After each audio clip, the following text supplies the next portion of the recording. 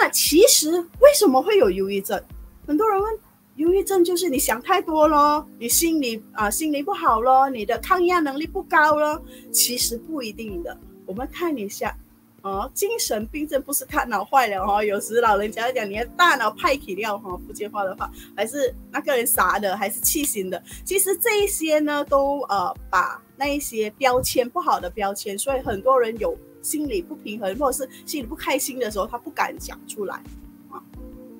那其实呢，我们的大脑里面呢，有一些掌控这情绪的化学物质，它是由神经线分泌啊，或者是神经系统的分泌出来的。比如血清素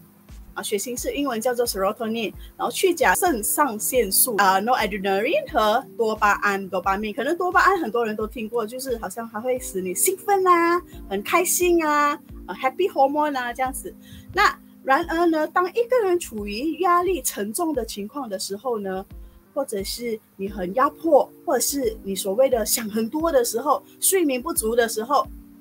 这一些化学物质呢，它就会下降。当它下降的时候呢，你的情绪就开始有问题了，因为你的神经系统已经不平衡了。好，那这些问题呢，常常我们说，哎呀，我们安慰人的时候，我们讲什么？看开一点呐，哦，我们要靠意志力去克服啦。其实，当你的这些化学物质下降的时候，你讲再多的看开一点都是没有用的。哦，那。我们要帮助患者呢去接受适当的治疗，他可以康复的。那一个重点就在于调节好这一个大脑里面的化学物质的水平。那刚才我有说到的就是去甲肾上腺素，英文叫做 noradrenaline。当你的 noradrenaline 下降的时候呢，你的情绪就会觉得，哎，我没有兴趣了，我的集中力很下啊，很低落。然后我没有活力，我的警觉性也没有那么高了。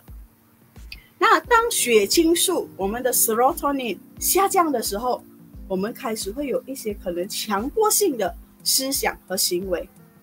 那当我们的多巴胺多巴胺下降的时候，我们就失去了乐趣，做任何事情都没有乐趣，然后没有动力，懒懒散散，觉得什么都很累，我们也没有积极性，因为我们的多巴胺下降。那你可能会看到，呃，中间可能这个黄色 serotonin 跟多巴胺一同时下降的时候，它会在青色的这一个范围，就是说你两种的那个呃化学物质下降的时候呢，你就可能没有胃口，性欲降低，可能就开始有攻击性的，觉得呃什么东西都要防范自己，要去攻击人。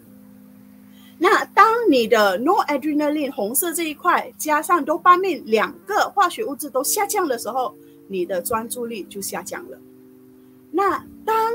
noradrenaline 跟 serotonin 中间都一起下降的时候，你会看到这个啊 chocolate 色的，就是你开始有焦虑、有冲动，你的脾气很暴躁啊，就是你的 noradrenaline 跟 serotonin 下降。那当你这三个化学物质都下降的时候，你就会看到中间的这个灰色，抑郁。和认知能力，你都同时下降。所以，当我们有这一些抑郁的这一个情况，或者是焦虑的情况，其实不是心理的问题而已，它是我们的大脑里的化学物质下降。